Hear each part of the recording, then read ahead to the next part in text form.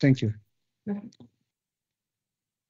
So let's start. Uh, good morning, good afternoon, good evening, depending on on second uh, the second edition of the Specializing Master of Nuclear Safeguards. I'm Marco Ricotti. I'm one of the co-director of this uh, uh, of this master. Uh, let me introduce uh, our our colleagues and also our guest. Uh, first of all, Kateryna Piliuhina. she is the manager of ENEN for the master, and Miss Elektra Tsigaridas. she's the manager from the European Commission that uh, if we are here today is because of the of the interest and the initiative uh, from the European Commission. Uh, welcome to everybody. I'm very happy to to see to see you online. Uh, let me give the floor to to Katrina and uh, Elektra first. Thank you. Uh, good afternoon, good morning, and good evening to everybody from my side as well. Mentioned mentioned, I am Kateryna Piliuhina, uh, representing ENEN, who is the main implementing partner, partner uh, of European Commission in uh, the master. And together with Politecnico di Milano, we implement this program. So we are happy to have all of you here with us, and this is really a very solemn occasion, and we are very happy that this is happening, and we, we will have edition of this a very important uh, program, not only for uh, us involved in, in this program, but uh, I believe even for the world. So welcome and uh, we, are, we are happy to be with you today and for the whole program. And I give the floor to uh, Elektra Tsigaridas from uh, the European, Commission, Commission, the, the organization who provide funds uh, to make it uh, this program happening. So please, Elektra. Thank you, Kateryna, and a good day to everybody. And I'm very happy to see you all, so many faces gathered for this inauguration. Actually, it is with great pride that we are inaugurating the second edition of the Masters on, on Nuclear Material Safeguards. It was a long way to arrive to that day. Uh, this master was conceived under the European Commission's International Nuclear Cooperation, uh, Nuclear Safeguard, Nuclear Safety Cooperation Program, where safeguards is one of the three main areas of action. We are financing the development and organization of training on safeguards in various regions around the world. And then we decided that a more substantial educational qualification program that would provide the needed qualification is necessary as well. So a master's degree program uh, was created that did not exist yet anywhere in the world, and it was so needed. So the Commission, the European Commission decided to launch and finance this project that, against all odds, succeeded to launch its first edition during COVID, back in 2021 and 22. So, and, and actually with very good results indeed. So uh, on behalf of the European Commission, I wish you all students a very fruitful and very satisfying 14 months, more or less, in this program. Uh, I, I hope you will enjoy it and you'll find it really uh, interesting. And I also hope that you, that to the good successful results for all of you that will propel your career and you'll be able afterwards to have interesting uh, posts, career posts in the area of safeguards. So good, good year ahead of you and good classes. Thank you. Thank you. Thank you. thank you, Elektra, uh, and thank you, Katrina, for the, the introduction. Now uh, we can start with the first session. Uh, the first session of the out of the three that will uh, will populate our our afternoon. Uh, the topic is about the overview of the specializing master on nuclear safeguards program.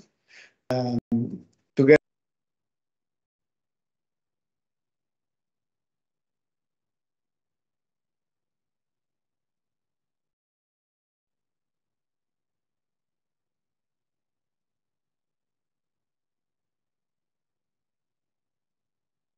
so uh, by this uh, session one, we would like uh, you uh, uh, where this uh, nice idea came from, how it happened, what is the our success story, and we will share some interesting information with you out of the first edition of Master. And also, we will share some scientific insights we got out of the work already done by the moment.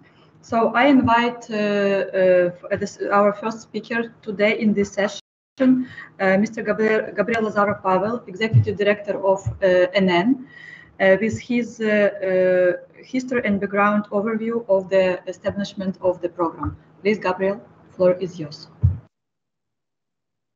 Thank you, Kateryna. So, good afternoon and good evening, everybody. As Kateryna said, uh, I am Gabriel Pavel. I'm the executive director of the European Education Network, and uh, I would like to shortly present to, present to you the the background, basically the background of the whole project and the whole approach.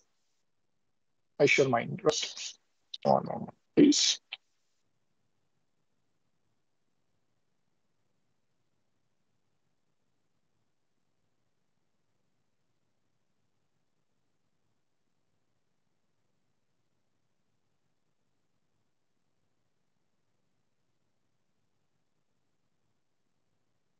Okay.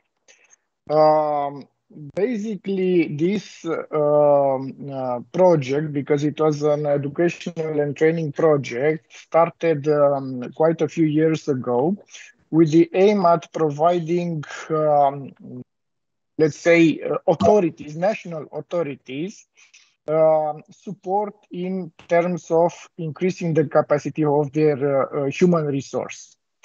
Um, this uh, introduction of uh, uh, safeguards was basically um, established long time ago, long before this uh, uh, project started. Um, and this introduction and started this introduction with, started underline with underline the importance safety, standards, safety, safety and standards the importance of and the importance of nuclear control of nuclear materials. why is that? Because why is that? Because all nuclear installations properly maintained, properly and maintained and operated, and also we all uh, need to uh, control what control what nuclear materials nuclear materials are going uh, to let's say either be let's say either be used and then after they use what to do with those nuclear materials. and this role and this role of safeguarding of safeguarding taking care of taking care of the nuclear materials, especially the ones that the ones that used are and then uh, used and then discarded uh, had off to be uh, had to be let's say uh, let's uh, say carefully uh, looked carefully So there are upon. several uh, So there were several methodologies uh, implemented methodologies in terms of implemented in terms of were several um, approaches when it comes to uh, not only verification but also to uh, uh, cooperate and to show to the neighbors to other countries that whatever you do in terms of nuclear activities uh, these can uh, at any point be uh, analyzed at any point can be visible at, at any point can be let's say seen as a, a, peaceful use of these um, materials. Um, these can be done following several treaties, several, uh, let's say, uh, uh, official documents recognized by the majority of the countries in this world. So we are talking now um, about the Euratom Safeguard Treaty, which is in place since uh, um, almost 1960. Or, or then uh, about the IAEA safeguard system, which is uh, which started in 1961 and also uh, the very famous uh, Treaty of uh, the Non-Proliferation of Nuclear Weapons. Um, the scope of this project was also to see what are the um, approaches, so to present the approaches um, stated by the additional protocol or to um, as I said at the beginning, to support the uh, national authorities in keeping these uh, um, obligations. So that's why when we started this this master program, we targeted mostly the persons who uh, either worked in the nuclear uh, uh nuclear regulatory authorities or who uh, had a clear chance or wish to uh, to go to to support the national nuclear um, regulatory authorities in um, in keeping these approaches. Um, when it comes to Europe, because uh, um, European uh, Union or European Commission is the main funder um, of this uh, initiative, um, Europe has, uh, let's say, this uh, global view of trying to play a key role in um, in uh, keeping the safeguards with high standards, at least especially in terms of uh, uh, human resource. So that's why uh, European Commission tries to support extra EU countries in strengthening their uh, their capacities. So in uh, national regulatory authorities. Uh, in try, they EC tries to support these NRAs in, in strengthening their capacities.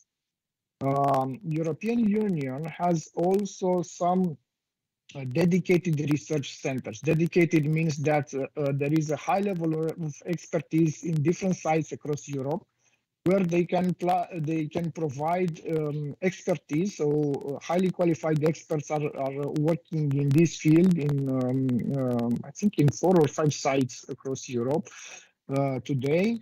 Uh, and uh, we are happily collaborating with these sites and then uh, you will see that towards the middle of the uh, training program you will also mm, some of you are going to visit these sites and see uh, exactly what I'm talking about when I'm saying um, that the highly qualified people are are there.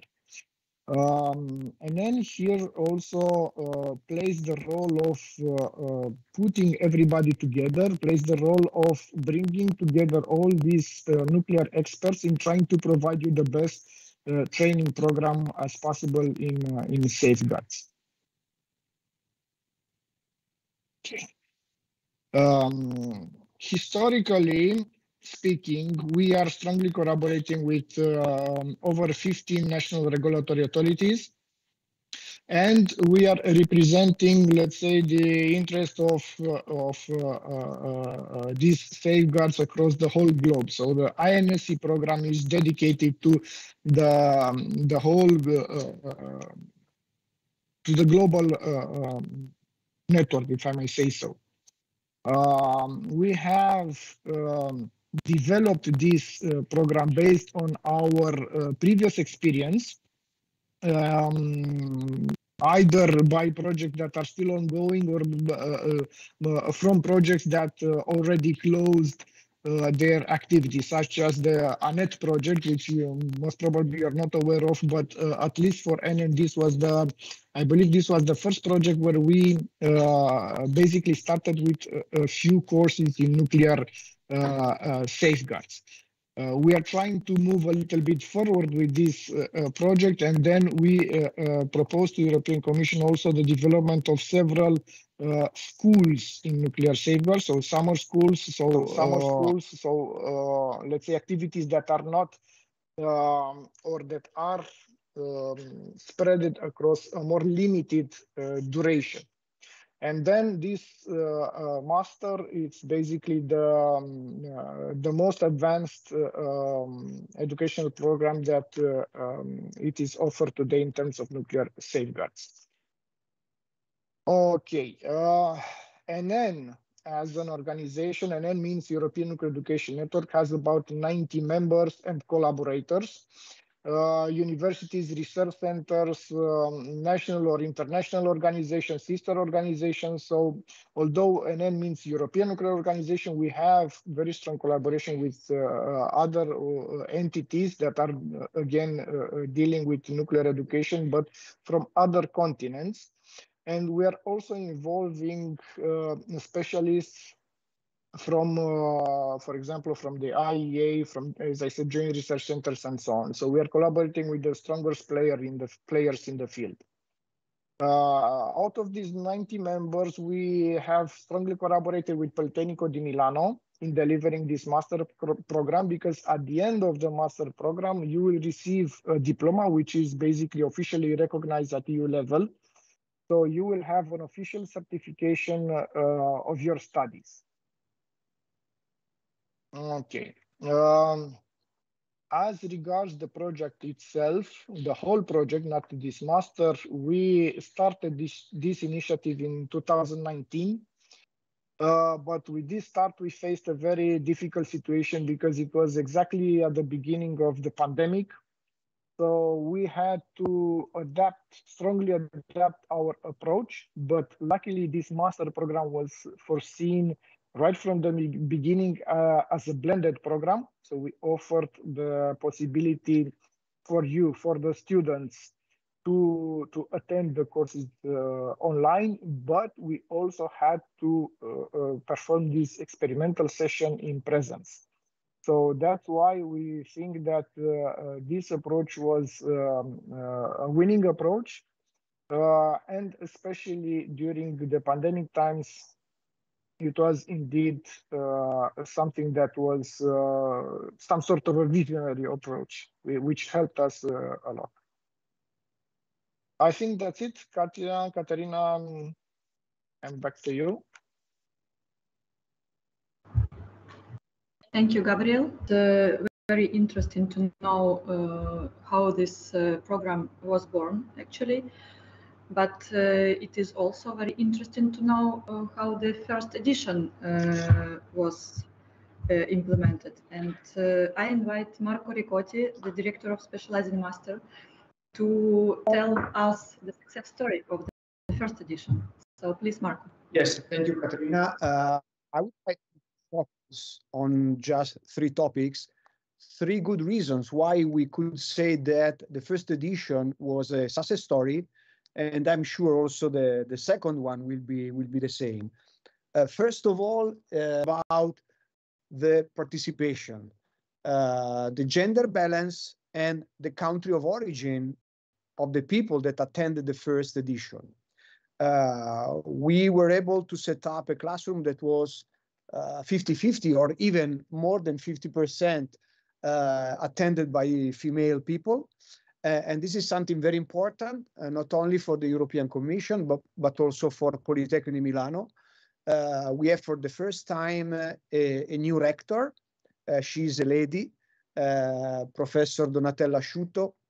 She's very, very engaged in supporting the, the participation of, of women in STEM, in uh, uh, in the education, in, in the training uh, of uh, engineering topics here in Politecnico, but also on supporting them after graduation. So first of all, the gender balance and also the country of origin.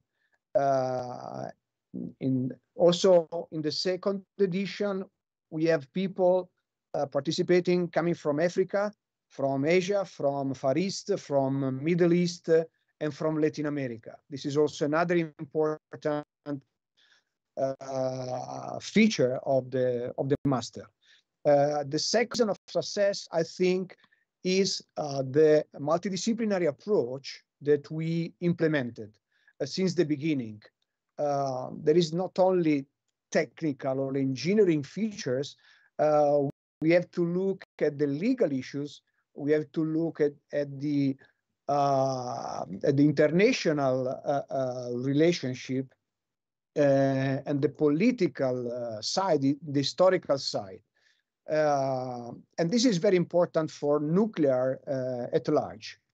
nuclear as other um, sectors, but especially nuclear, I would say, is a quite a complex, a complex topic and we need to address uh, by uh, taking care uh, to an holistic approach. Uh, there is not only technology, uh, there are other issues that are uh, as far as important than, than technology. Um, you will see in, in the structure of the modules that we try to address all the key and critical aspects of safeguards, but it's the same also for uh, other uh, other sector of, of nuclear. Um, we may think about uh, security or, or safety or technology development is the, is the same approach. Uh, we see now a, a very uh, renewed interest all across the world, uh, I would say even in Europe, about nuclear.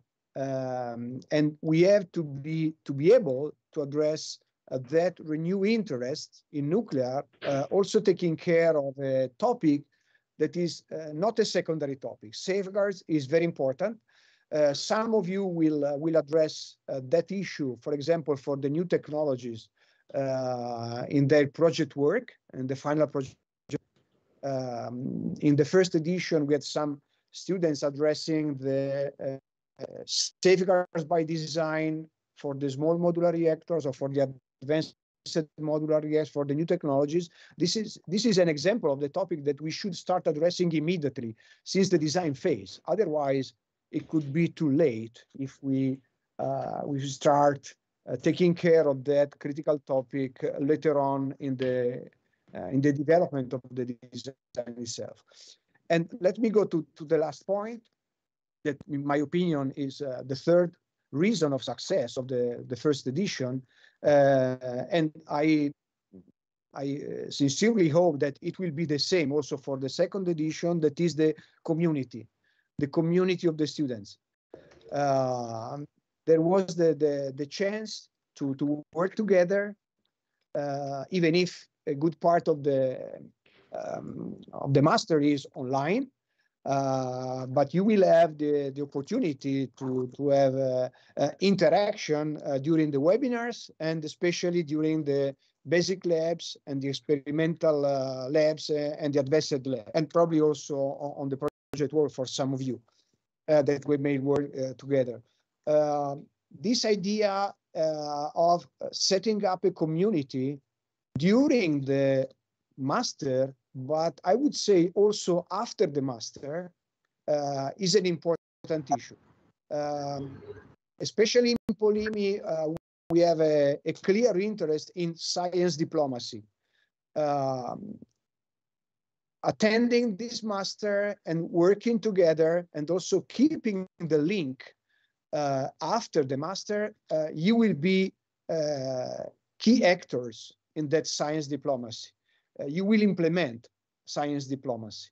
Uh, nuclear is a, is an, a critical and important topic, needs collaboration uh, to be successfully uh, uh, performed. So um, this is the the, uh, the wish that I will I would like to to to see implemented also for the second edition. I, am sure you will you will find the opportunity, and you will be glad to collaborate uh, in a very, uh, very interesting classroom uh, from people all across the world.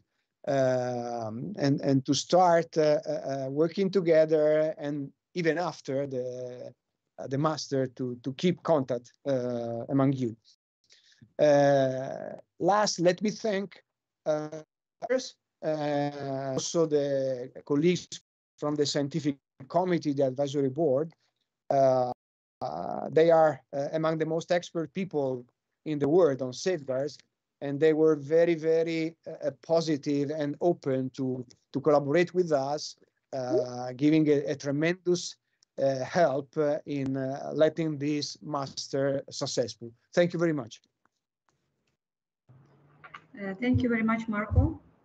Uh, so we now uh, see and uh, hopefully our students now see that the program they entered is of a very great importance and it is something unique and they are actually very lucky to to be part of this.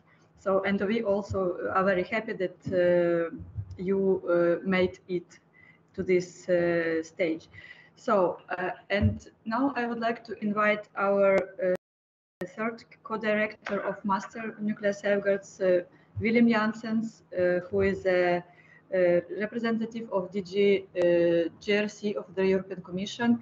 Uh, being the head of Department of Nuclear Safeguards and Security, he will provide us scientific insights in, re in re relation to the um, program. Please, Willem.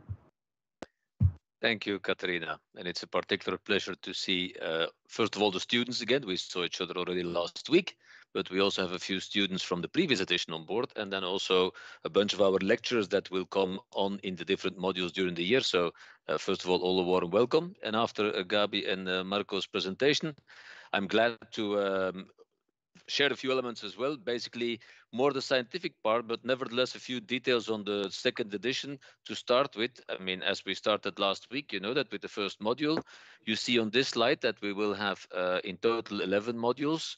And there are two uh, periods of on-site presence. One is the um, basic laboratories, which are foreseen in April 24, and the other, which is also the basis for the master thesis, that are taking place from September through November. So um, you will find on the website, in fact, much more detailed for the schedule, but this is just uh, to share with the entire audience that the length of the program is slightly longer than in the first edition because the experience showed that somewhat more time was required also for the project work.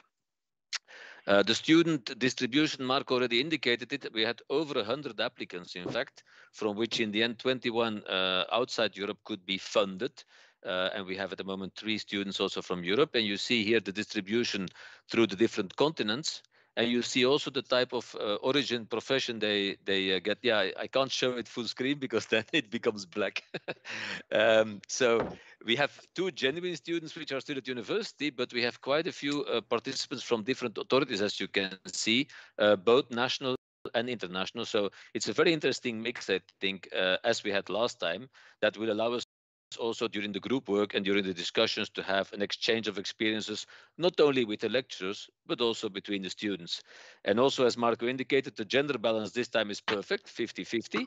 Um, and you see the um, educational background where we have, um, let's say, a bunch of engineers. We have also people with a legal background, the political science, and then other uh, scientific and technical disciplines. Uh, you see a few of the people with a nuclear background, but not only. And that's important also because we can definitely learn from people with different experience when we discuss the different modules in safeguards. To show you what these modules are and what the type of topics are covered, uh, I just have a slide with the uh, topics that the students worked on in the first edition for their advanced labs and thus their thesis. So Marco mentioned a few. You see the big popularity of uh, nuclear material measurements. I mean, 10 students uh, choose to do a thesis on non-destructive analysis. But one of the key messages I wanted to pass in this short presentation is that safeguards is way beyond only nuclear material measurement.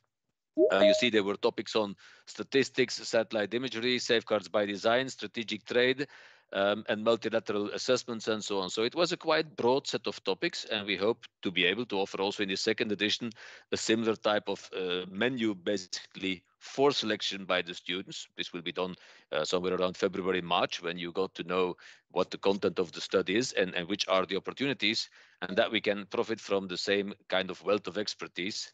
And in fact, for that purpose, I, I put on this slide just to say that um, most people focus on, on the nuclear fuel cycle only when we speak about nuclear uh, or nuclear safeguards. But we have a rather important element of the legal basis uh, the different verification technologies, and also the geopolitical situation. I mean, we live today in animated times. We will discuss that in the panel three later today, uh, that there are quite a few challenges, in fact, to safeguards uh, that are relatively new, in fact, due to the geopolitical situation. And that introduces the next slide, which is a little bit complicated, but I'm not going to go in detail. Uh, you heard about the Joint Research Center, which in fact does over 50 years of safeguards R&D. And occasionally people ask, do we really need to continue doing R&D or are we able to do everything already?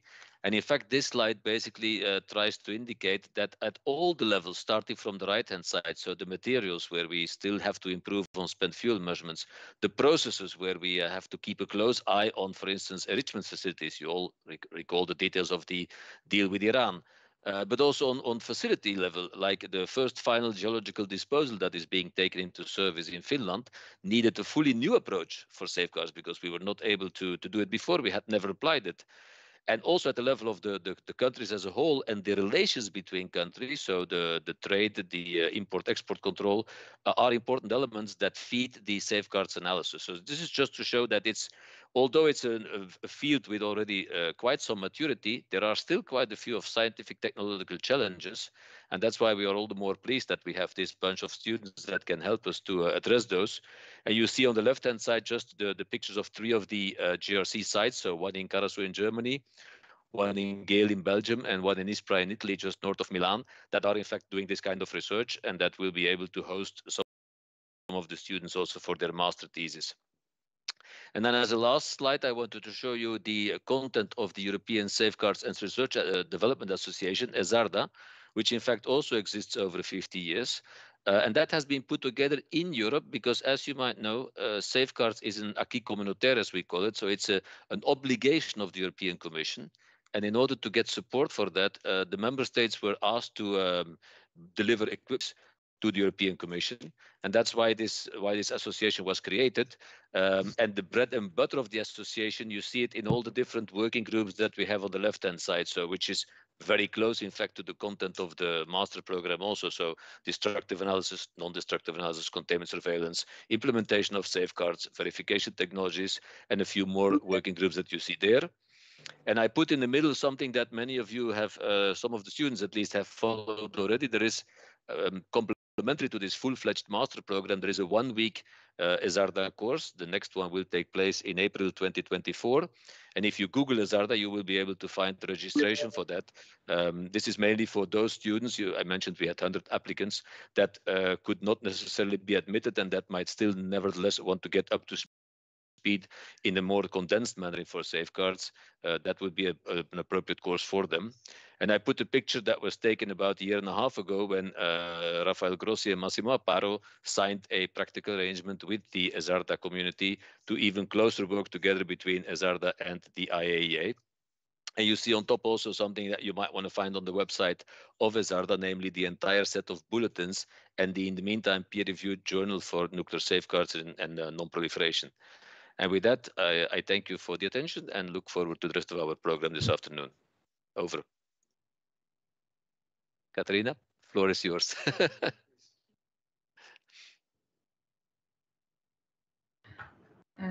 thank you, Willem. It was uh, interesting to know, uh, and now you, you, have the whole picture of uh, and uh, overview of the uh, specializing master on nuclear safeguards program. And this is what we um, let's say propose you to to know for the moment. But so another very interesting session, which is in, which involves our honored high-level guests and the moderator for this session is uh, uh, Marco Ricotti. So, and he will uh, support us and so follow, so we will follow the path and we will know now what are the main perspectives of improvement of education and training in the area of safeguards.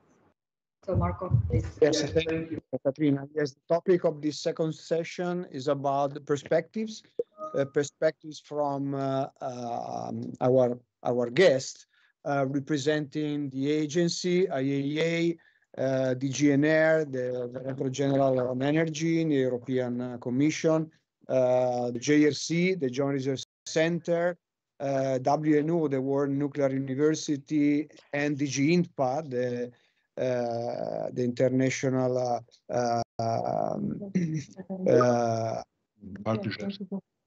uh, from Elektra. Uh, she's a, a, project manager. Uh, let us start with the, the agency, IAEA. Uh, we are glad to, to, uh, to share with you a, a video message uh, Director General, General Rafael Grossi recorded for us. So I think that we can, we can share the video.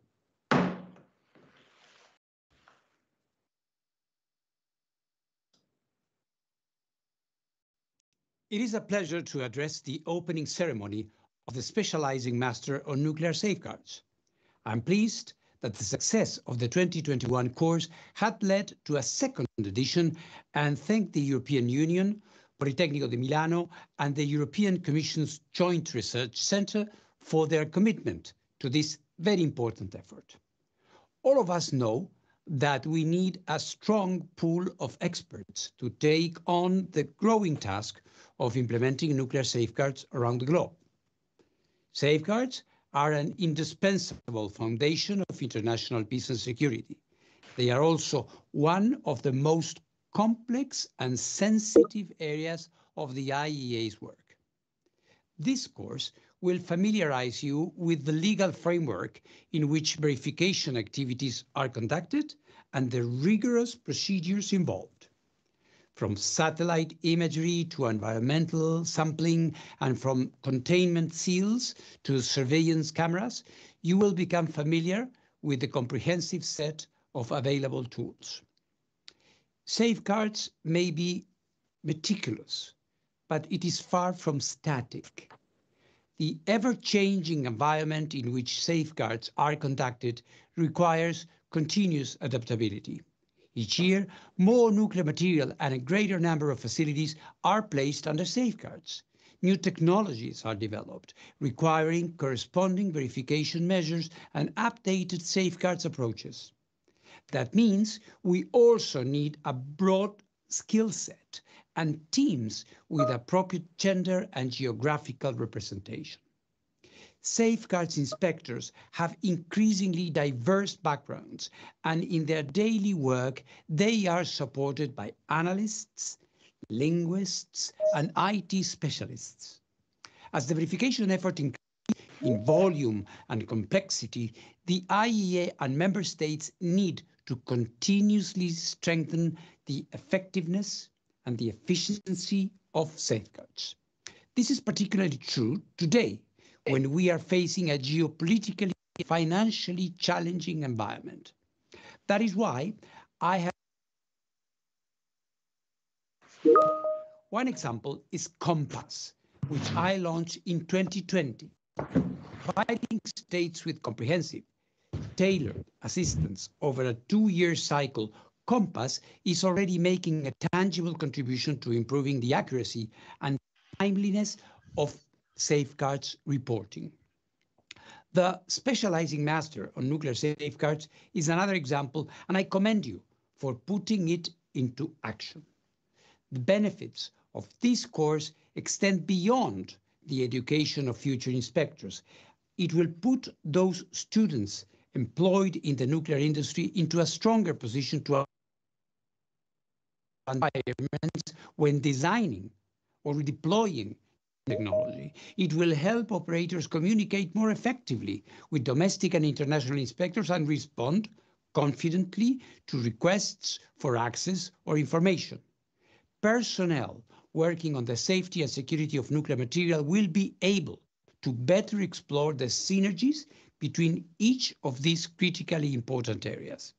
In closing, let me commend you all, the organizers, faculty, and students, for making a unique contribution to safeguards through your commitment to this course. You can count on the IAEA to continue to support effective, efficient, and resilient safeguards, thereby fulfilling our very special international mandate. Thank you and I wish you a productive course.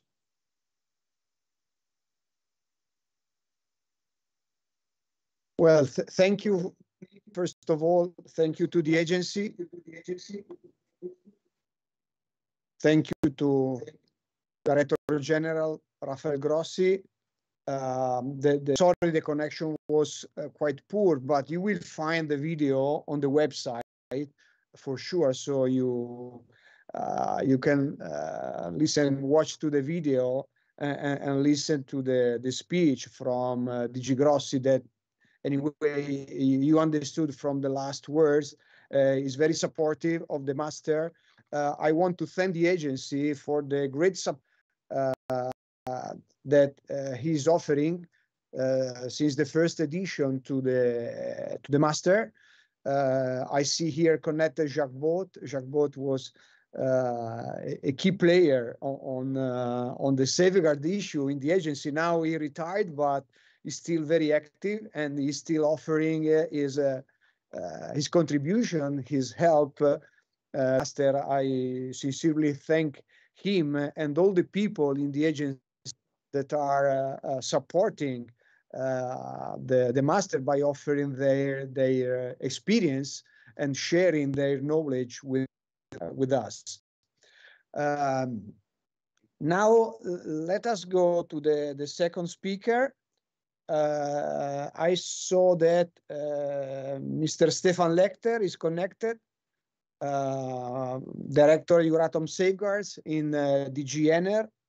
Um, Stefan, the, the floor is yours. What about the, the perspectives about safeguards from, from your side? Thank you yes. for being here. I hope you can hear me well. I'm switching on my video now as I'm talking. Um, thank you for switching off the video when you are not talking. That has helped a lot for the transmission of uh, Mr. Grossi's speech that increased if the bandwidth. Um, I hope you can hear me now. Is that okay? Yes, now is okay. Thanks a lot. Yes. So I um, would like that we are experiencing also in the Director General for Energy a scarcity of nuclear know-how. In Euratom Safeguards, we're having roughly 220 posts, of which a little bit more than 100 are genuine nuclear inspectors we are seeing that there is a big swing in the academic landscape to just go for renewable energies, to go for everything green and wind and solar, and that this is very attractive and also politically very strongly promoted. We also see that there is a nuclear alliance driven in the EU mostly by the French also understanding that in the year 2050, some 10 to 15 percent in the European energy mix will still be from nuclear. So the choice is always with the member states, and some member states have decided to abandon nuclear. Other member states have decided to put their bet on nuclear, France, and yet others are considering entering nuclear, as Poland is doing. So if we want to reach the climate goals and climate objectives together, we must understand that without the nuclear share, the 2050 goals will not be reachable for the European Union altogether. We cannot just discard a technology that is climate friendly and that is proven and just understand that this will not contribute when the member states in their uh, competence to select their own energy mix have partly decided to use nuclear. But to use nuclear, we also need nuclear competence, and to safeguard nuclear materials, we do need nuclear safeguards competence. And this is very difficult for us to acquire. Nuclear safeguards in the EU is mostly located in Luxembourg. Let's not talk about the additional protocol activities where um, some non-side letter states still have their own approaches and administrations, but the Luxembourgish part of the European Commission is not located in Brussels, which is making it difficult for us attracting interested staff from the European Commission. And we cannot hire as everybody else in industry can do right from the street. We need to go over the European Commission system, over the European Personnel Selection Office, having an open call for and then a very complex competition, and then establishing reserve lists. So getting know-how and people there is very, very complicated. And therefore, it's important that we have a continuous inflow of competence. I do understand that, of course, we also need to have international counterparts. The IAEA needs to have international inspectors and also developing countries um, supported by the international partnerships director general have to develop safeguards know-how. This is important as is important safeguards in the EU. But just to give you an example, we are having an open competition until mid-December still for applying as a Euratom Safeguards inspector. We're not even starting from the base uh, salary in the higher category, um, but we are starting two steps above. And we are not having enough applicants such that we had to extend the deadline for applications. It is incredible. We can't attract people for nuclear safeguards in Luxembourg easily. And therefore, we need to rely on other channels. We need to do work with the JRC. We need to work with uh, academia. And I'm very grateful for everybody who is contributing to nuclear know-how uh, being maintained for the future. I'm telling people that safeguards is a long-lasting career. Even if Germany decides to opt out of nuclear and to shut down the last nuclear power plant end of March this year. The nuclear fuel will not disappear overnight, and there is no plan for a final repository in Germany. There is not even a location. So these are all things um, that require safeguards for quite an enormous amount of time. And new repositories, intermediate storages, final repositories will also require safeguards approaches. And there will not be a nuclear waste dump somewhere in the EU, one member state doing it for all of the others. No, there will be national concepts. So the Swedish are building repositories, the French are building their repository, the Finnish are starting next year. And this is all future development. Small modular reactors need to have safeguards know-how around. So let me thank all of you who have contributed. Um, University Politecnico Milano, the JRC, with the efforts of driving this, um, the, the, European Network for Education in, in Nuclear, um, the IAEA, and also all colleagues from the European Commission. Nuclear sometimes is a little bit like the um, forgotten child of the climate friendly energy community, where everybody is rushing for wind, for solar, and for hydro. But the total calculations, the plans and the objectives for 2050 still require nuclear. And we cannot meet our climate goals and cannot meet the climate objectives if it wasn't also for a nuclear share in the EU. So thanks for contributing to this future and making it sustainable. Thank you very much, Stefan, uh, for the very comprehensive global picture overview of uh, of the needs uh, that are uh, okay very clear for Europe, but uh, also for uh, several countries of, of, the people that are attending the second edition of the master. Uh, this is the same the same situation. also in their countries, the, the nuclear issue is becoming even hotter. Uh, so I think that uh, we are addressing in the right time uh, the right topic with with this type of education and path. thanks a lot, Stefan. St thanks a lot for your time. Um, let us move to the a third contribution from the Joint Research Center. I think that uh, Ulla Engelmann, she's the director of nuclear safety and security. Uh, I suppose that she's connected. Yes. Uh, okay, we have a video, video from uh, already from Ulla. Uh, okay, let us uh, watch and listen to the video. Good afternoon. As director of the Nuclear Safety and Security Directorate of the Joint Research Center of the European, European Commission, I'm particularly pleased to address you also at the official opening of the second edition of the Specialized Master in Nuclear Safeguards. I also appreciate the speeches held by the Director General of the International Atomic Energy Agency and the Director of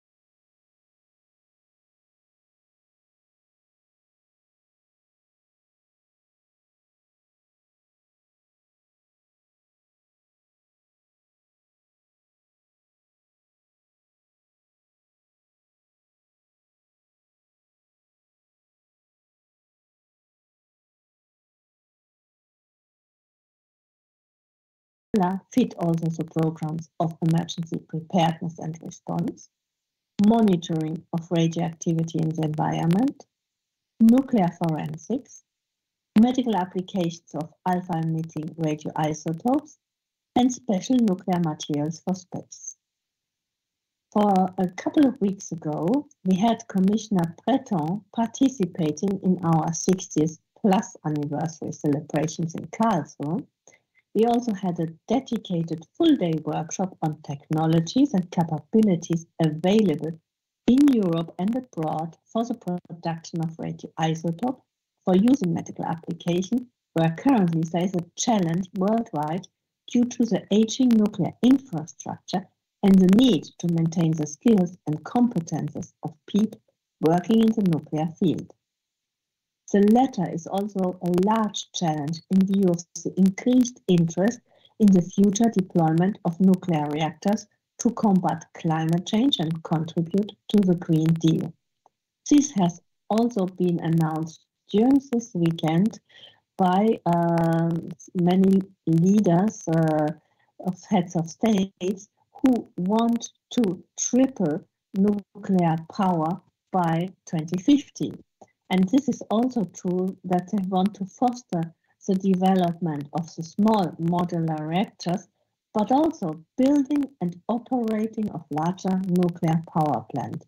And several of European countries and many other nuclear newcomers outside uh, Europe have demonstrated this interest particularly now, also during the ongoing COP negotiations. It is therefore very encouraging that this unique educational program that was implemented for the first time in the years 21-22 with the funding of European Commission's DG INTPA can now be repeated. And I learned that there was an even larger expression of interest for enrollment in this program with over 100 interested students, from which in the end only 21 could be retained from countries outside the European Union, in addition to a few students also from Europe and or international organizations. As you will certainly know, nuclear safeguards is a cornerstone in the peaceful deployment of nuclear technology, and during this year you will learn about many facets in this field, which contains legal issues, political commitments, technical verifications, analytical measurements, as well as elements of open source analysis, for example, using satellite imagery and data analysis of trading of sensitive or dual use components and technologies. This and much more you will have the chance to dive in during the next 15 months and I am pleased that several of the key chart scientists of my organizations are participating to the lecturing of this program. In fact, the JRC Directorate Nuclear Safety and Security is located on four sites in Europe. The largest one, fully dedicated to the safety of the nuclear fuel cycle, the high-level waste management and the analytical measurements for nuclear safeguards and security, is located in Karlsruhe, southwest of Germany, from where I'm addressing you right now. A second nuclear site is located in Geel, Belgium, mainly dealing with basic physical measurements, reference materials, and monitoring of radioactivity in the environment. The site in Petten on the seashore in the Netherlands deals mainly with reactor safety, whereas safeguard relevant work of the ISPRA site in in Italy focuses on containment and surveillance, advanced verification technologies, and strategic trade control. You will in fact have the opportunity to visit the JRC ISPRA site laboratories and discuss with the scientists and experts during the basic uh, laboratories about halfway through the program. Equally important are the opportunities to identify one or the other scientific R&D topic from the JRC Nuclear Safeguards Program that could be of interest for your stay in the advanced laboratory period, which will also constitute the start of your master thesis. I'm confident that one or the other of our scientists will be happy to mentor you in case you demonstrate a specific interest for the activities in our labs. To conclude, let me state that I'm also particularly pleased with the gender balance in the student population, and I welcome the participants with different backgrounds and education signed up, as the discussions between yourselves and the exchange of experience with the lecturers will definitely also constitute an important element in your education. With this, I wish you a very successful year full of new experience and knowledge gathering. And thus, it might well be that uh, during one of your stays here in Europe, we can also meet one or the other in person. Thanks a lot, and I wish you a good continuation and start of the course. I have to, to thank Director uh, Ulang for the for the speech, but uh, most of all for the help that JRC is always offering uh, since the first edition uh, to our master. Uh, I I ask Willem to to bring to to Ulla our our most uh, grateful thanks. Um, we should have now the contribution from uh, Isis Leslie, director of the World Nuclear University. I don't know whether uh, we have time because uh, Leslie uh, said that uh, it should be available by 3 p.m. So we have one, or one or two minutes. I don't know whether uh, we can wait or uh, ask Elektra to to uh, to give him to give the speech her point of view from from the international partnership DG. Thank you, Elektra. Thank you, Professor uh, Ricotti.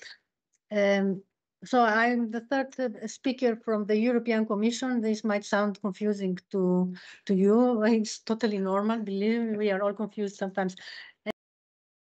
Uh, but uh, the the difference from from what I represent and my previous uh, colleagues speakers is that uh, we deal with international cooperation on nuclear safety, uh, um, a and very important aspect. And this is, of course, where this masters is has been organized in particular for all these non-EU countries that are developing and want to strengthen their safeguards. So um, as I mentioned earlier when we started that uh, our international nuclear uh, safety cooperation program uh, tackles three areas. One is to to uh, uh, enhance uh, nuclear culture in management and nuclear. The other is to safe safe storage of nuclear waste and nuclear material. And the third one is safeguards. Safeguards have not been the biggest and the most important since the beginning part, but is catching up with the rest because it's more and more, more and more important. What we do uh, mainly in my in my um, uh, sector is that we are uh, launching projects which um, can either be bilateral, uh, have, having supporting uh, some countries in in developing their uh, safeguards culture. Let's say now I'm focusing only on safeguards, no safeguards culture, uh, or in some region of the world, or we have also this multi-country, as I would say, uh, training projects that develop the training that can be then available to all uh, similarly, we are also financing other organizations uh, that are that are doing training. For example, very important uh, partner is the International Atomic Energy Agency, which is also uh, um, with our financial support organizing a number a lot of training.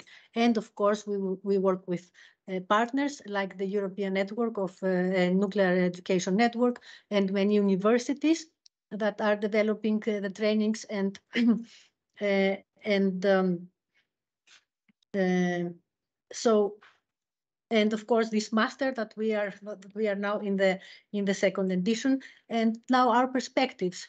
We want to do more of it and better of it. This is what we are looking ahead to do.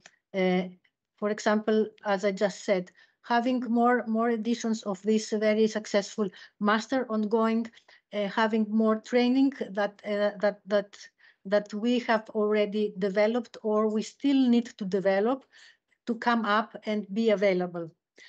I see two, two things that we need to take into consideration here, two key conditions.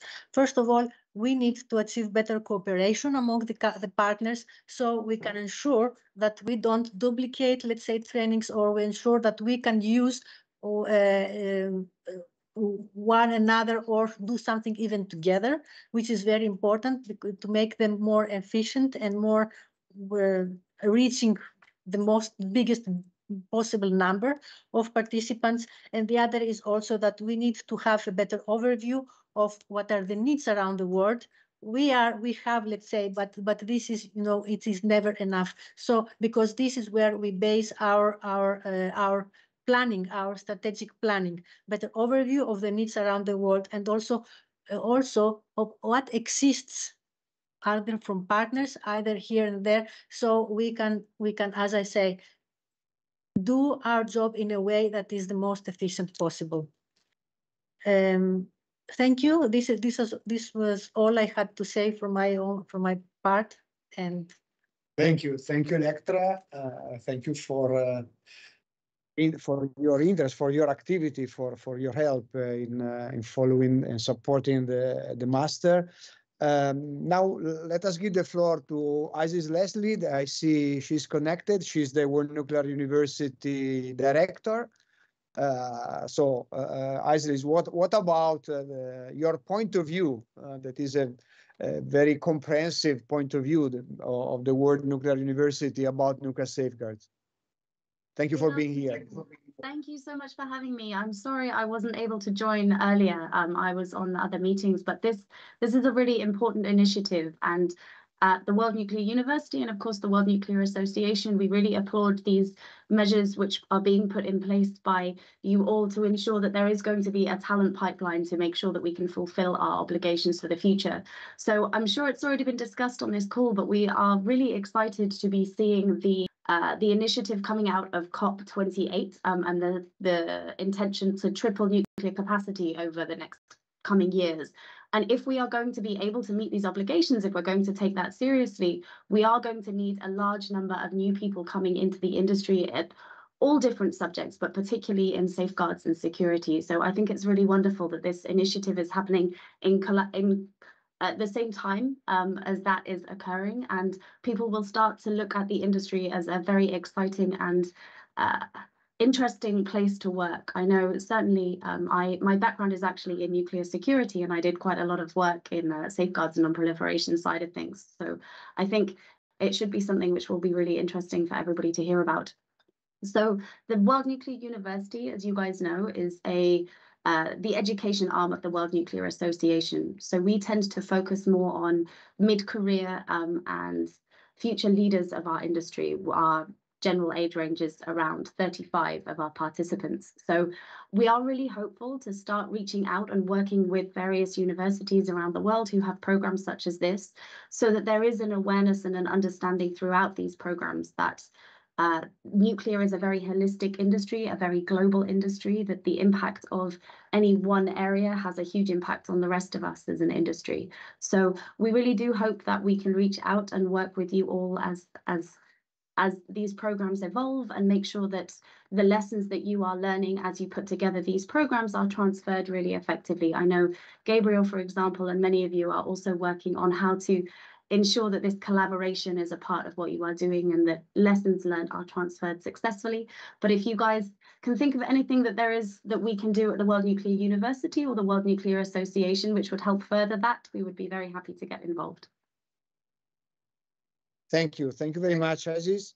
Um, I guess that even if we just double the, the global power, nuclear power in the world, we should multiply by several times this edition of the Master of Safeguard because there is a huge need uh, of, of, experience of uh, uh, of education and training and, and, on workforce also on this critical uh, topic uh, of safeguards. Thank you very much, Aziz, for being with us today.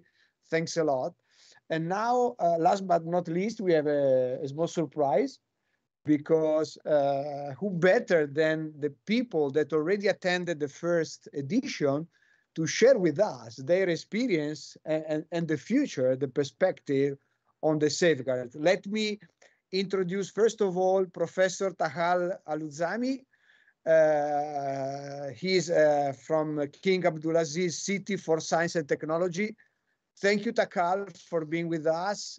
And uh, let us share with you, with, with us, uh, your uh, your personal experience or personal view on uh, on nuclear safeguards. Thank you, Taghal. Uh, do you guys uh, hear me? Do you guys hear me? Yes, we can hear you. Yes, uh, thank you, Professor Ricotti. Uh, uh, uh, and hello, everyone. my name is uh, Taghal Al-Hazami. I'm the head of Nuclear Control Unit at King Abdulaziz City for Science and Technology. King Abdulaziz is the owner and the host of the first Saudi nuclear research reactor. And after this quick introduction, and I would like to take this uh, our host for uh, uh, inviting me uh, today to share with you some of my views and uh, personal experience. And also, I want uh, I won't uh, forget to congratulate the participant of the second edition of the uh, uh, Safeguard uh, Specialized Master. So congratulations to all of you. you deserve to be part of this amazing course. And I want to say congratulations only, but also welcome to the Nuclear Safeguard Committee. Uh, last year, I was uh, honored to participate in the first edition of the uh, uh Safeguard Specialized uh, Master, and thanks to ENEN uh, ENEN for uh, sponsoring uh, financially the, the course.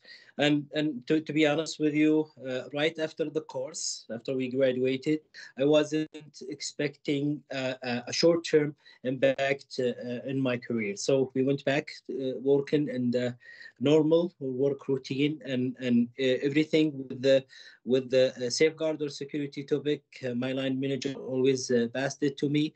So uh, with the uh, uh, open access that we have and the specialized master course, thank you guys for that as well. I were able to went back and refresh some of uh, my information and uh, uh, I worked in a couple of technical reports and did my best to help my organization, to help the top management in my organization to understand the implication of uh, uh, safeguard commitment and also uh, to to pave uh, ways and, balancing the nuclear uh, policy and the nuclear the security and safeguard implication and and and uh, one of the reports that I worked on is it was about the nuclear safeguard commitment as as a, a national level. Uh, and he sent it to the uh, KACST president. Uh, and after that, he, he, uh, my land manager told me that he, he liked it so much. So six six week or eight week after that one, uh, I was uh, surprised with the nomination for a high level committee at the Saudi uh, bureau expert at the uh, Saudi council minister.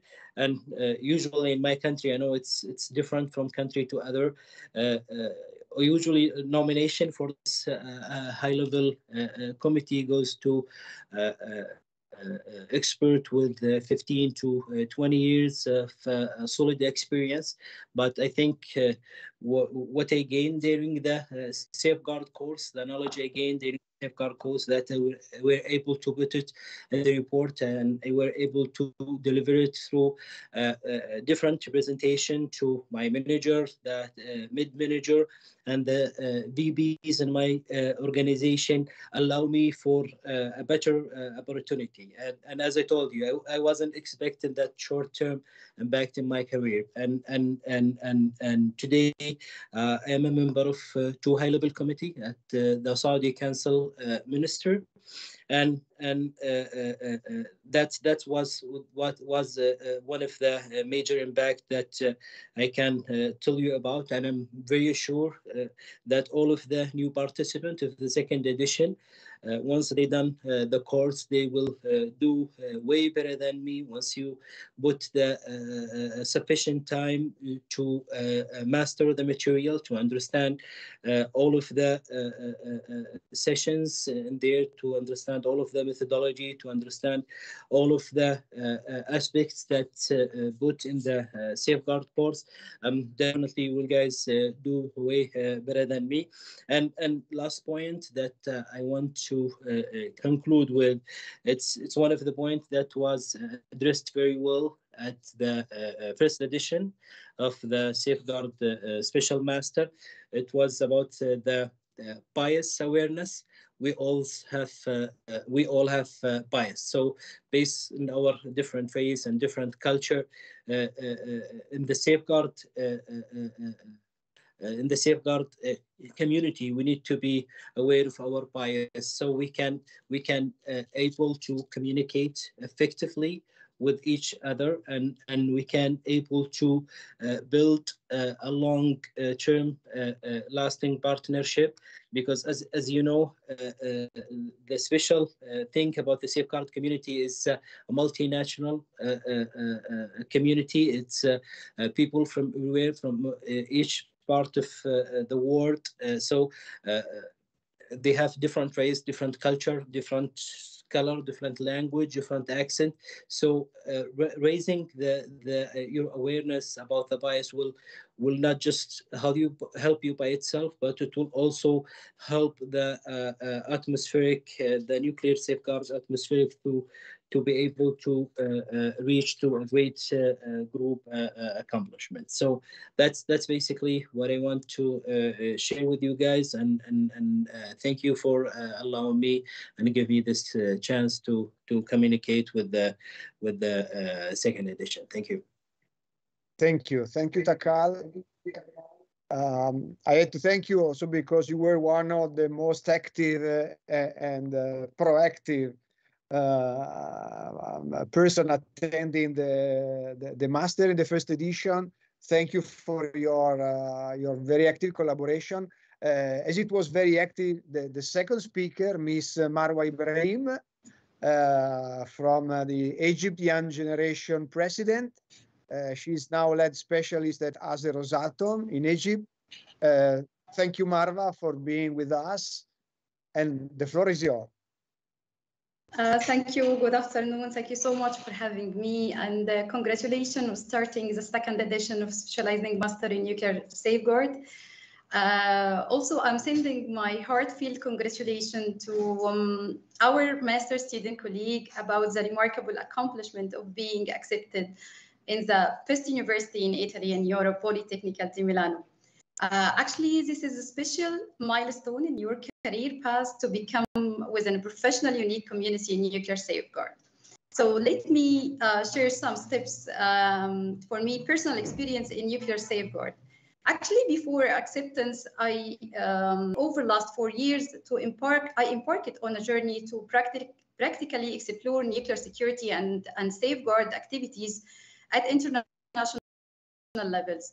I seize all opportunities that help me to digest all international nuclear safeguard regime and the technology behind non-proliferation with outstanding educational opportunity from, for example, Los Alamos National Lab, Brookhaven National Lab, and Center of Non-Proliferations and KCL, and the ESARDA course that Dr. Willem um, pointed out. Uh, so this course uh, organized by in the JRC. So I highly recommend that you take this uh, course because I come up with wealth of knowledge that encouraged me to dive into the next step in my career path in nuclear security and nuclear safeguard.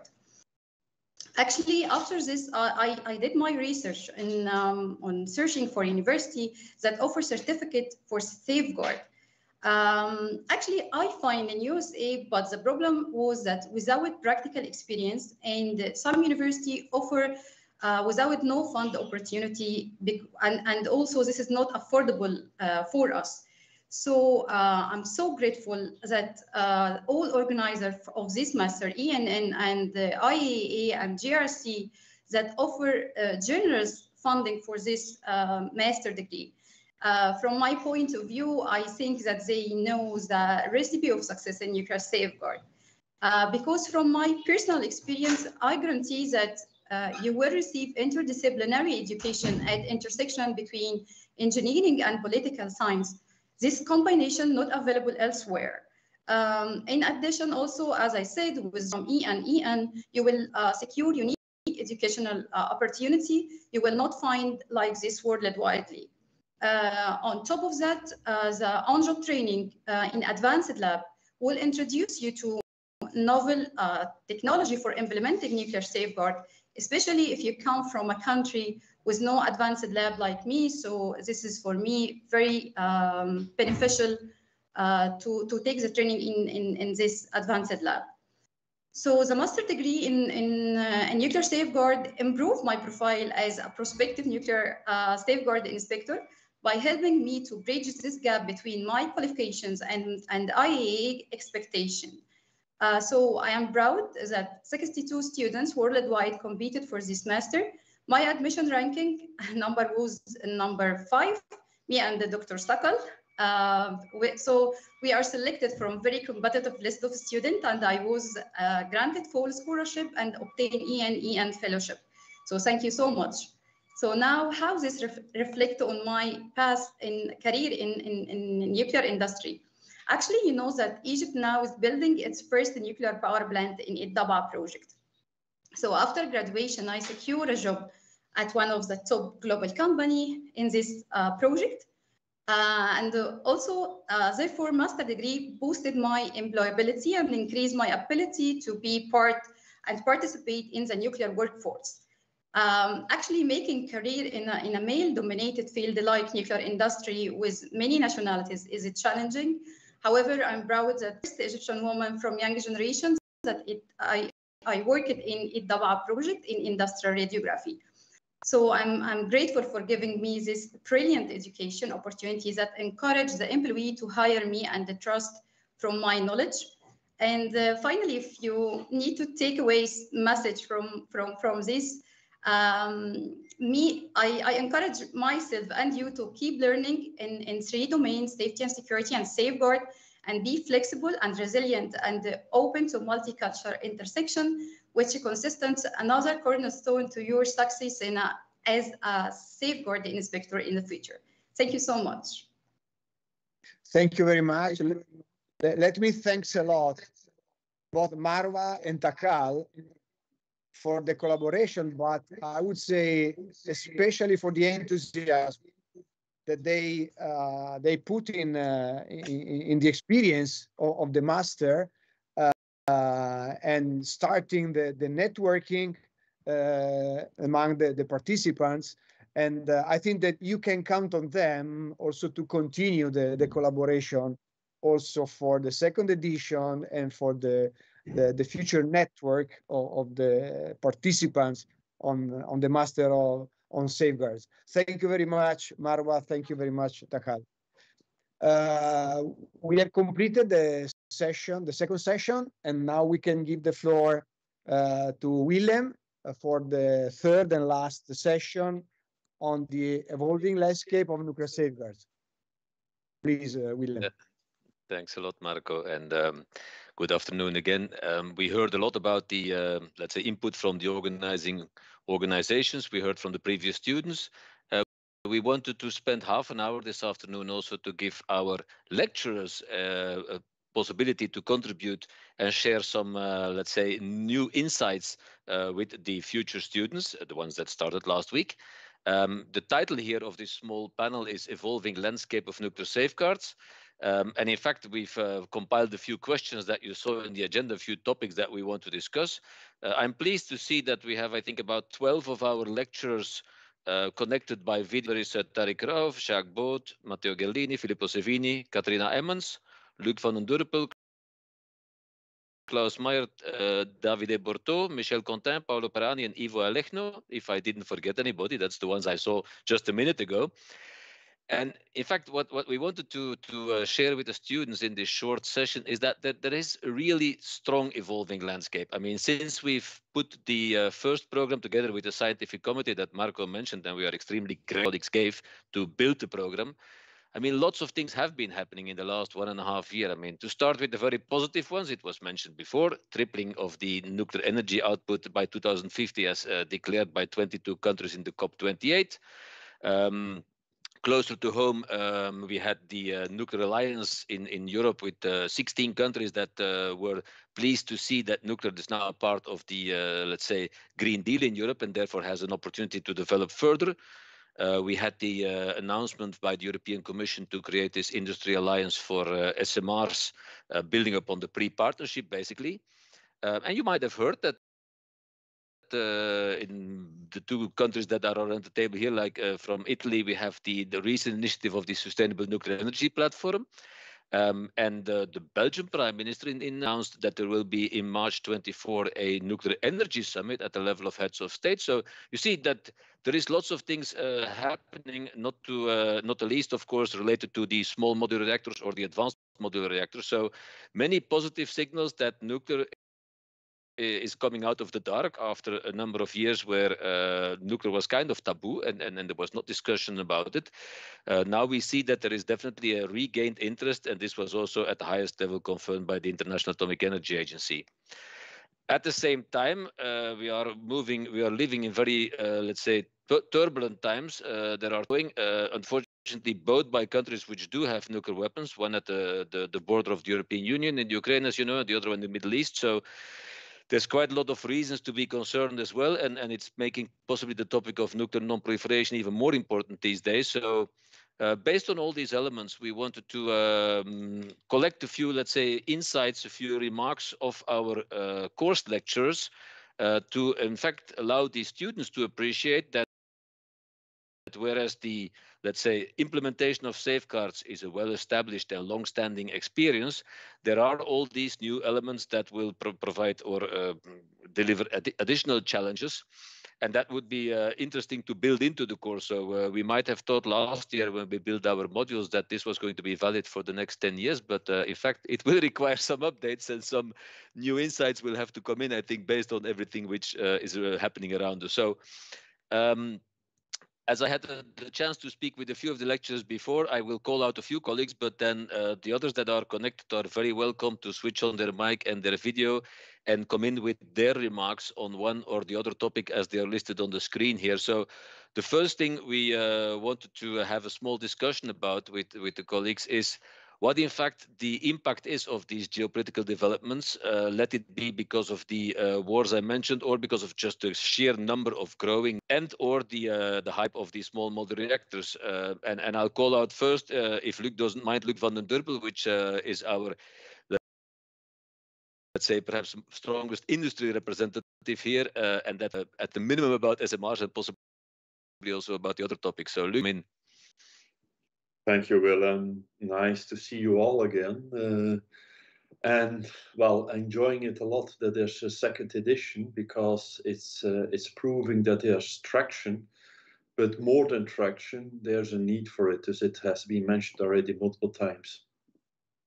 Yes, COP28, but also whatever was mentioned already by Willem, shows that even if we're staying with the LWR technology nowadays, tripling the big LWRs worldwide will be already a challenge, not only from industry, but also from, you know, the, sec uh, the security and safeguards challenges that we will have, being it on human resources for the agency, being it for Euratom, being it for, uh, doesn't matter who.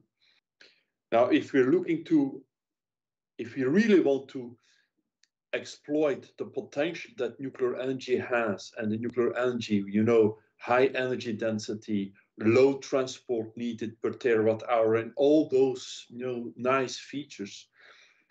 We will have to live with a nuclear maybe by the 2050s, where we will not only apply nuclear onshore with the big LWRs like we know them, but potentially like we know them, but potentially also with LWR kind small modular reactors that do have their own challenges with regard to fuel because you're considering higher enriched fuels, being it even HALEU fuels for those that are aware about those developments, which is already posing some uh, new challenges, but new approaches as well required with regard to the security and the safeguarding of those. But not only that, we are currently working as well with industry and typically the non-nuclear typical industry, let's say the power production in the nuclear technology and so on with the SMR. In the same time, we have a, a real, real serious international, global um, context situation with very serious crisis derived from the war that you mentioned. Uh, and you mentioned correctly how the uh, some nuclear states are directly involved in this new war. But the point, in my opinion, to because I'm an historian, so I try to draw some lesson from history, not directly, but I think that the main experience that I want to report to the um, to the master students for this new edition was the Euratom experience. So how to face uh, big challenges, conflict, past and, and ongoing, through cooperation, through integration, and through integration in the nuclear sector. A peaceful integration that means also to create a, a safeguard system which was proved as successful as the Euratom one. I think that this could be a good uh, uh, example of the past to face the, the new challenges, but also the new opportunities of the SMR in this sense. Because I think that for a while, for all this long time in which nuclear power seemed to be put in the in the back end, in the, in the out of the um, energy production outlook, uh, the proliferation doesn't belong directly to uh, the countries which has uh, which have already uh, nuclear power running. We had a sort of uh, crystallized situation in which the risk was not so hard of proliferation in recent years, despite some cases, but it was not so globally uh, uh, a, problem, the, the, the nuclear proliferation. But in the new time, in these new times of uh, of, of, troubles, of losing of a, uh, um, yeah, an international consensus as we had in past decades, I think that the strong of regional cooperation, the strength of regional cooperation, and in particular, the EU could provide a good example of developing nuclear, uh, nuclear energy, nuclear technology for all the application not only for power production. Keeping a, a, a strong safeguard system, keeping a, a strong, peaceful commitment for development in a certain way or the uh, reliance to the international uh, agreements which contribute to limitate the spreading of nuclear weapons. That's the point. I think that this model could not be applied uh, barely in the other uh, in other situation in other region in other areas but we could try to put the better to try the better uh, to draw the better uh, experience for for for uh, for the Euratom history and from the current EU history. Thank you. Thank you, Matteo. And in fact, uh, elaborated in your detailed lecture also on the Euratom history and the treaty. So um, I want to turn to Tariq shortly um, as a basically extension of the lecture that he gave in module one, which was already touching upon lots of the geopolitical developments. Tariq, if you want to come in, please. Uh, yes, can you hear me? Yes, we can. Can you? Yeah, unfortunately, I'm still having problems turning on my camera, but I'll still speak. So in, in general terms, um, as has been already discussed, we are hearing about a new nuclear renaissance, particularly new technologies for power generation, uh, especially small modular reactors. More countries are expressing interest in this. Uh, nuclear energy is now recognized as contributing to sustainable development and achieving uh, carbon um, uh, minimization goals, climate goals, which is a break with the past. And also international financial institutions like the World Bank, the Asian Development Bank, the International Monetary Fund, which in the past did not want to fund uh, construction of nuclear power plants, are revisiting uh, their policies. Um, this is not the first time that we have heard about a resurgence uh, of interest in uh, nuclear energy. In the 1970s, there was also such talk, and then later in the 80s, but for a variety of reasons, those nuclear renaissances never really materialized. And the high and the low uh, nuclear energy growth projections by the Nuclear Energy Agency in Paris and by the IAEA also had to be revised. So we need to see how this develops.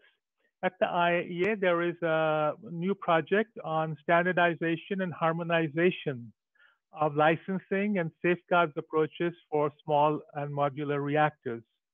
I understand that there are somewhere around 80 different designs uh, under uh, investigation, of which apparently three are uh, closer to uh, deploying what's called a first of a kind reactor, which of course will be more expensive. And then if the technology works, then subsequent units uh, following economies of scale would be much more uh, affordable. Recently in the United States, there was a setback when one uh, SMR project was canceled. So again, we need to see how this uh, optimism about small modular reactors is, is going to turn out.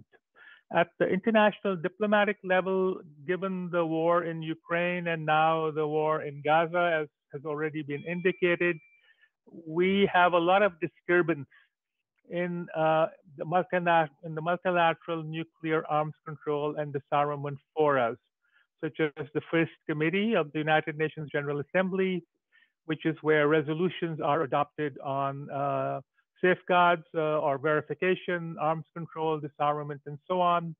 Uh, this year, the Non-Proliferation Treaty uh, Preparatory Committee meeting held in Vienna in, in August failed to agree on a set of recommendations. And as you remember, um, last year, the 10th NPT review conference also failed to agree on an outcome document. Although, fortunately, there was a good discussion on pillar two and pillar three. So pillar two talks about uh, nuclear verification and nuclear security. And in pillar three, which is peaceful uses of nuclear energy, we deal with uh, nuclear safety. So particularly from the group of 10, which is a group of countries here in Vienna, at the IAEA, they produce a lot of useful language, which is taken from the resolutions adopted at the IAEA General Conference, which is held in uh, September every year.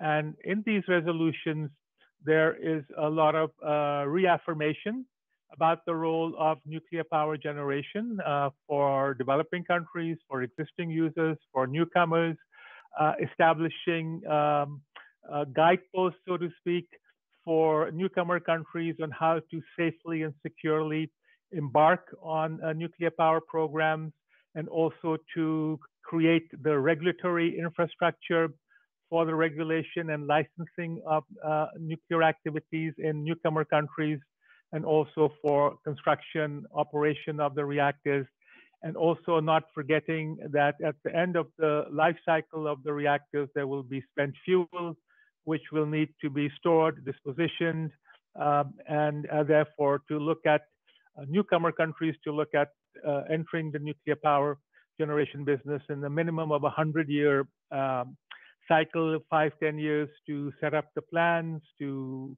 uh, do the licensing, to do the contracting, another five or six, seven years. And then the well built and well maintained reactors will continue to generate electricity for 60 years or so. And then we have the end of life uh, issues. Uh, on, on, safeguards, unfortunately, even now, 25 years after the additional protocol was approved by the IAEA Board of Governors in 1997, there is still uh, disagreement in the IAEA Board of Governors about making the additional protocol mandatory for non-proliferation treaty, non-nuclear weapon states parties, which uh, have to have uh, INFCIRC 153 or the standard safe comprehensive or full scope safeguards agreement uh, with the IAEA. So the additional protocol doesn't create new legal obligations on the part of non-nuclear weapon states. The legal obligation is already contained in the comprehensive safeguards agreement, INFCIRC 153, which is that all nuclear material and all nuclear activities in a non-nuclear weapon state must be declared to the IAEA and used exclusively for peaceful purposes.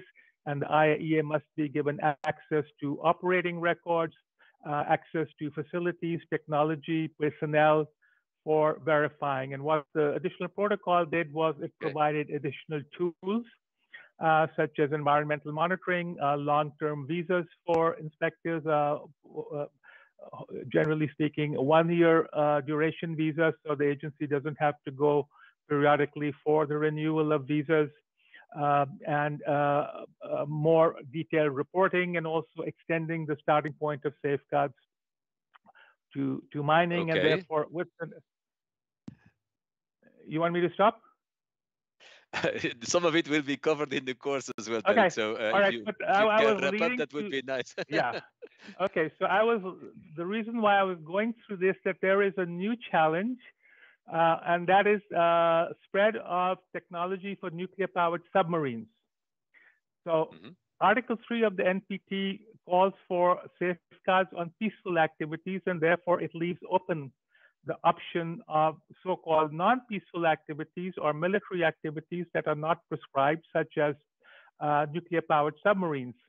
And, and this exception was created in 1967, 68, particularly at the instance of insistence of Italy, which was looking at nuclear-powered ships, just as Germany had a nuclear-powered cargo ship, Otto Hahn, the Japanese had the Mutsu, the Americans had the Savannah, uh, but that technology really didn't materialize. But in INFCIRC 153, in Article 14, there is an exception for non-prescribed military uses. And now we have the challenge where Australia will get a fleet of nuclear-powered submarines that will use 93% enriched, uh, highly enriched uh, uranium, uh, roughly 200 kilograms uh, per submarine, which will be completely outside of safeguards. And it's now been two years since the project was announced, and the IAEA, unfortunately, to my regret, has not yet come up with a safeguards approach or safeguards objectives for verifying this. And Brazil also has a nuclear submarine development program, but that is an indigenous program, and they apparently use uh, low enriched uranium. And the Argentine Brazil Agency for Accounting and Control, uh, under the quadripartite agreement with the IAEA, considers nuclear ship propulsion uh, a peaceful activity. So again, how this will be defined remains open. And so I think these are new safeguards challenges that are before us that need to be addressed. Thank you. Thank you very much, Tariq, for pointing that out so the students will see that there is still new approaches to be developed and, and challenges ahead. Um, I, I, wanted to change gears for a moment and, and uh, take a few of the topics that are later in the um, on the list. There, technological advancements, challenges in implementing safeguards in terms of data authentication or, or information over payload, uh, also the use of machine learning and, and, and other new developments. And for that, uh, I wanted to show to to uh, transition to Jacques Baute, which um, is connected as well and has been actively participating in the first session also. So Jacques, if you want to come in on those topics and related ones, please do so. Thank you, Willem. Pardon. Yes, I mean, there have been so many uh, good points made by uh, by the previous speakers. I'll try not to not to duplicate things.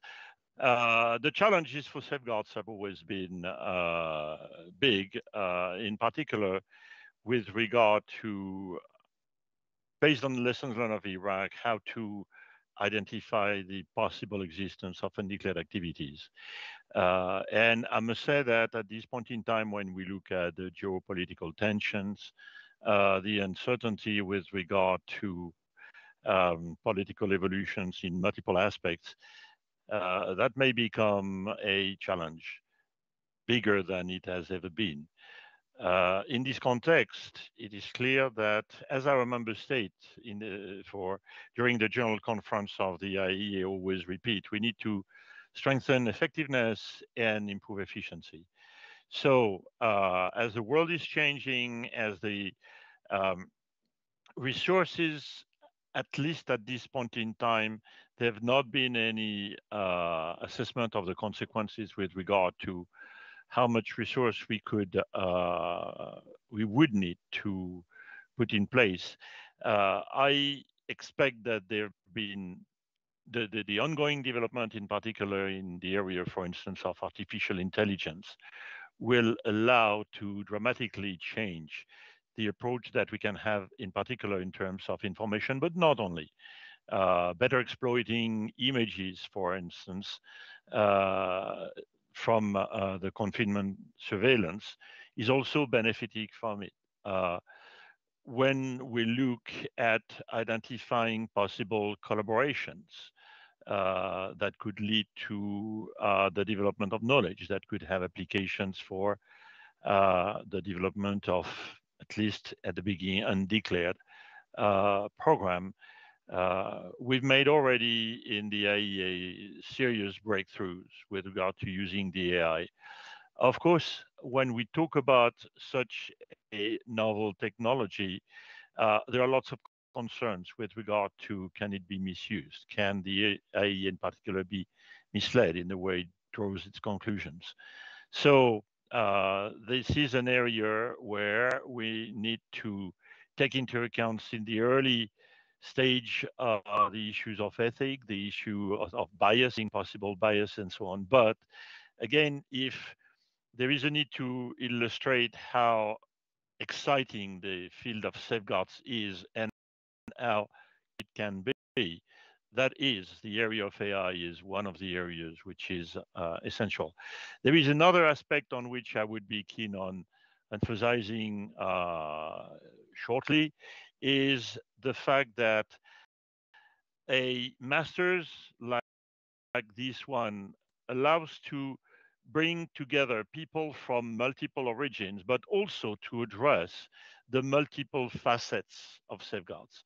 And in the context of uh, a new uh, renaissance of safeguards or of an increased level of threat to the proliferation, non-proliferation regime, having a roster, if not a critical mass, sorry to use a trivial, of individuals who understand the extent of the competence that need to be engaged, of the partners that need to be brought on board, uh, will for sure help in ensuring that safeguards will develop in a uh, better order and uh, with a broader understanding, not only of the microcosm that we often feel we are, but with a group of people that can spread what the needs are and explain why safeguards is important, including in the context of this uh, re renew renewed renaissance.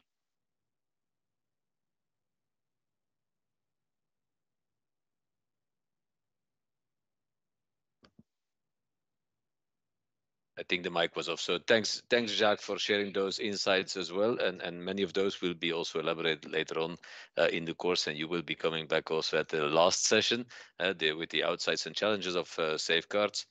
Um, before closing, I want to perhaps quickly uh, turn to um, our more colleagues with more legal background. Uh, I see Quentin Michel as, as professor from Liège connected. So um, Quentin, you might want to share some of the, just in a few minutes, one or two challenges that you see also there outcoming for the uh, students of safeguards that uh, are listening into this session. So over.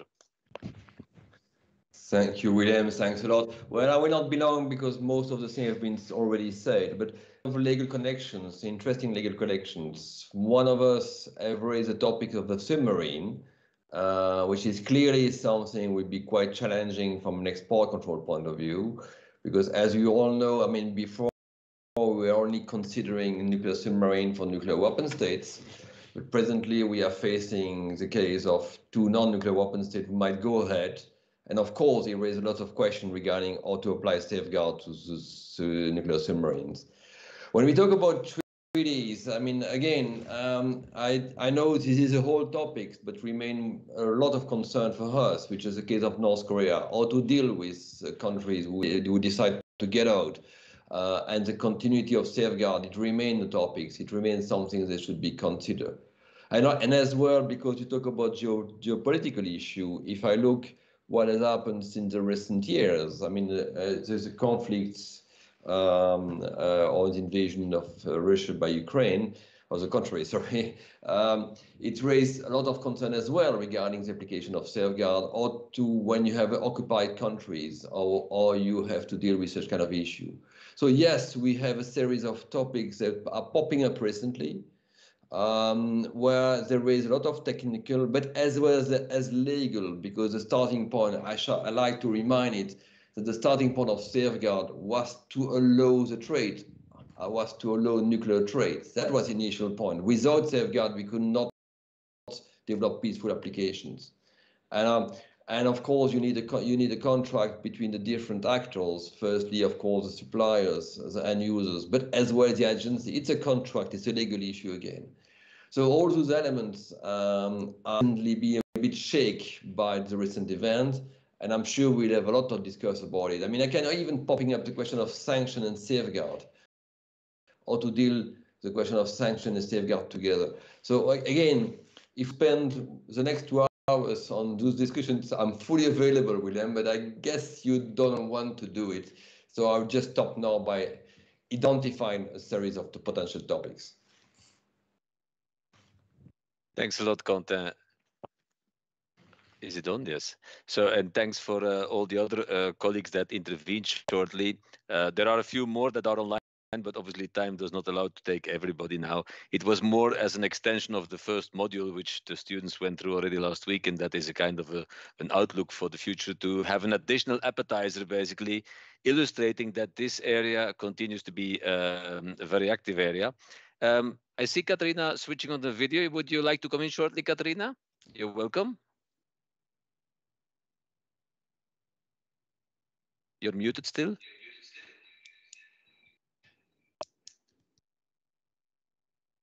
We don't hear you. No, we cannot hear you. No. Okay. Was there any of the other lecturers that are connected that would like still to say hello or, or share quickly an idea? If you do, plus switch on the mic and the video.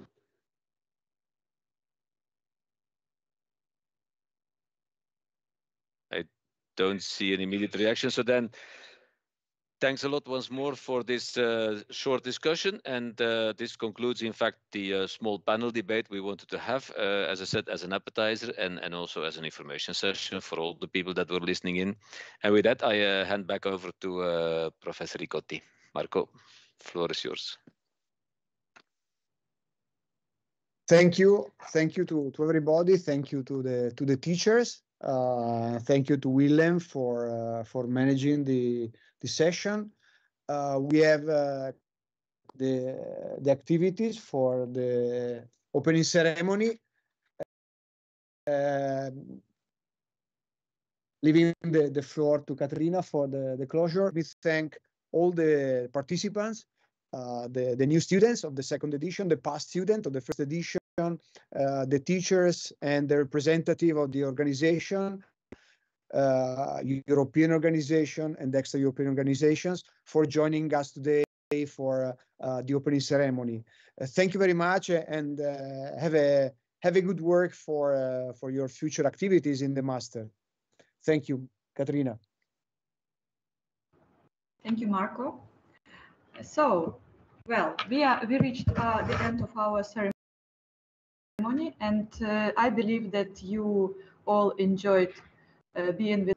And this appetizer, as William uh, calls it, was uh, tasty, and you are now encouraged to go ahead and get uh, more knowledge. And if we speak about students and from the lecturer's point of view, to uh, get encouraged by the uh, classroom we uh, built for you.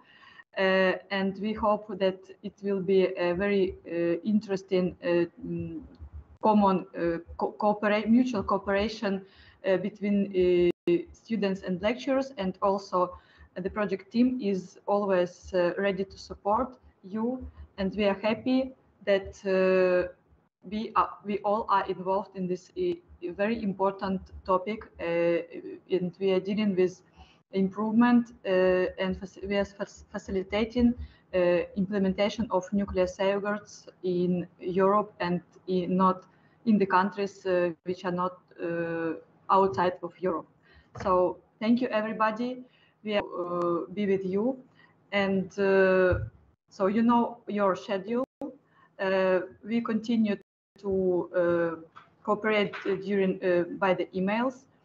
Uh, you, you, always can contact uh, us, the project team, me in particular, and Polimi cooperation technical team. Oh. So thank you. And uh, if you uh, suddenly uh, missed some parts of our nice opening ceremony, it is available at the website and you can uh, check it and uh, or if maybe you are interested in uh, watching it one more time just check the Polimi website and uh, there it is.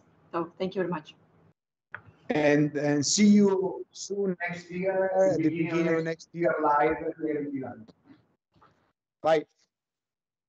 Thank you. Bye. Bye, bye.